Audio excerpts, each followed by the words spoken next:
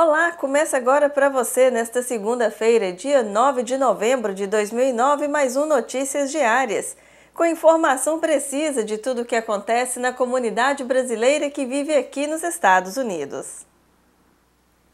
Aconteceu no último domingo do dia 8 de novembro, no Palácio Europa, um almoço beneficente em prol do imigrante brasileiro Clay Anderson Figueiredo, de 26 anos, natural de Governador Valadares, interior de Minas Gerais, residente em Newark, New Jersey. A verba arrecadada será utilizada para financiar o tratamento de Clay Anderson com células tronco na China, estimado em cerca de 50 mil dólares.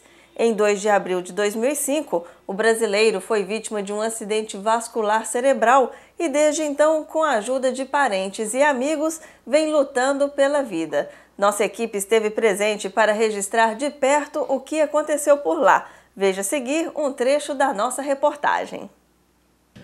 Eu converso com Sueli Figueiredo, é tia também do Clay Anderson e que acompanhou de perto todo o tratamento desde o dia do acidente. Fala para mim, Sueli, é complicado lidar, principalmente porque nesse momento você tem que estar forte e ajudar alguém que é seu familiar e com certeza mexe com você. E esse movimento hoje da comunidade para ajudar o Clay Anderson, como é que você se sente? Ah, sinto super agradecida, é um movimento muito bonito, que é um momento que você precisa de ajuda e você busca essa ajuda e a comunidade responde comparecendo, ajudando você. Fica muito honrado com a presença de todos aqui. É muito importante para nós, para ele. É um tratamento caro, difícil, é a novidade agora né, na medicina, que é o tratamento com as células tronco, e esse tratamento a gente acredita que seja o único recurso para ele no momento, que a vida dele é um milagre. Os médicos deram zero chance de vida quando chegamos no hospital. E assim, ele lutou muito, ele é, venceu todas as batalhas. Depois de um ano, o médico dizia vegetal, e aí está ele lutando, sobrevivendo a tudo isso. Eu sou personal trainer, graças a Deus tive a oportunidade de usufruir da minha profissão para tratá-lo, para ajudá-lo.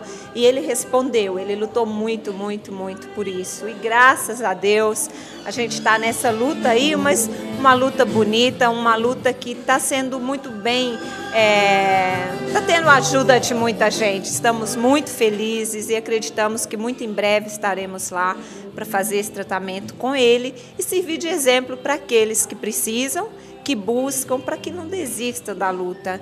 Domingo beneficente, dias de todos se juntarem, principalmente a comunidade brasileira, para se reunir em prol de um bem tão grande que é o Clay Anderson, o tratamento do Clay Anderson. Roberto Trevisan aqui comigo, também uma das pessoas que veio participar e dar um apoio. Esse momento é indispensável que todos os brasileiros se reúnam para ajudar o Clay Anderson.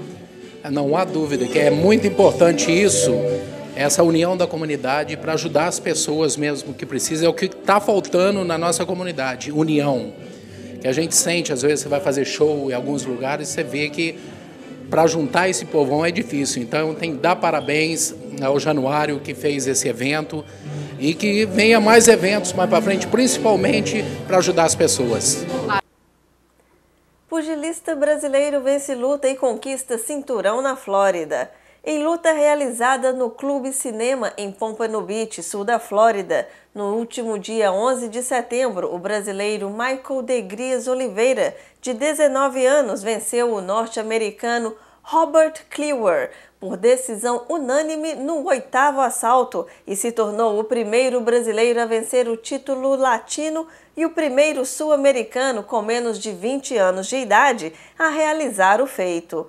Michael, que não conhecia o significado de oito assaltos, já que se acostumou a vencer suas lutas por nocaute nos primeiros rounds das lutas, encontrou dificuldades devido à maior envergadura no adversário. O brasileiro teve trabalho para soltar os seus golpes, porém foi mais agressivo que o oponente e a diferença de pontos ao final do combate foi significativa. Michael continua invicto com oito vitórias em oito lutas, sendo seis delas por nocaute.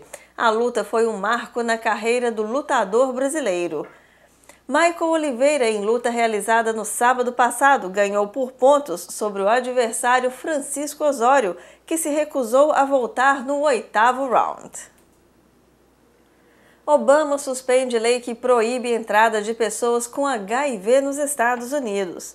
O presidente dos Estados Unidos, Barack Obama, anunciou na sexta-feira do dia 30 de outubro que acabará com a proibição de entrada de estrangeiros infectados com o vírus HIV no país, um veto que está em vigor há 22 anos. A ordem para cancelar a proibição foi emitida na segunda-feira do dia 2 de novembro e a medida entrará em vigor no início de 2010, conforme o BBC News. A nova legislação leva o nome de Ryan White, um adolescente que contraiu a doença em uma transfusão de sangue e lutou contra a discriminação aos infectados.